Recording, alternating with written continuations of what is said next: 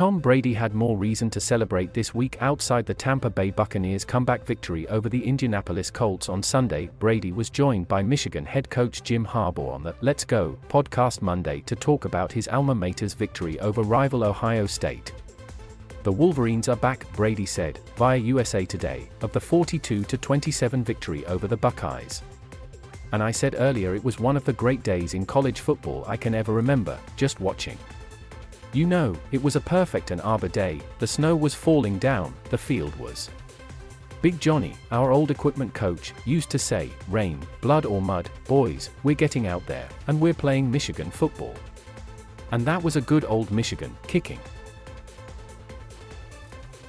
Ann Arbor, Michigan, November 27, Aidan Hutchinson number 97 of the Michigan Wolverines celebrates a sack against the Ohio State Buckeyes with teammates during the first quarter at Michigan Stadium on November 27, 2021 in Ann Arbor, Michigan. He continued, It was so fun for us to be watching and so happy for the seniors, so happy for Coach Harbaugh, what he's done to the program. It gave us all a lot of joy on the weekend so thanks a lot, Coach.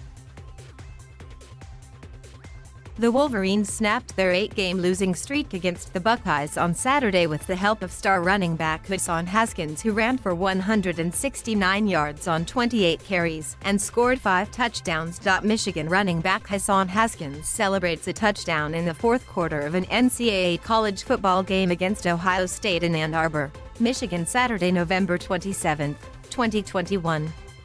Michigan won 42 to 27. It was a glorious weekend, Harbaugh said. Bo Schembechler, my coach, used to say it's everybody's duty, for everybody in the state of Michigan, to beat Ohio State. And to have accomplished that, our players, you know, they were channeling old number 10, Tom Brady, no question about it. It's something that I know I'm going to remember until they throw dirt over top of me. Referees talked to Michigan head coach Jim Harbaugh during the second half of an NCAA college football game against Ohio State, Saturday, November 27, 2021, in Ann Arbor, Michigan. Brady, who was 4 1 against Ohio, also revealed that he hopes his son will follow in his footsteps. I had a little future Wolverine, my son Jack, sitting on the bed with me as I was jumping around, he recalled. We were wrestling on the bed. And I said, that's where you're gonna be. You're gonna be in the big house someday. You're gonna be the starting quarterback for Michigan.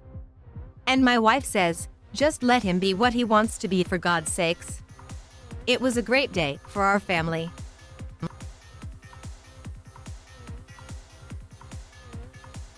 Thank you for watching. Please subscribe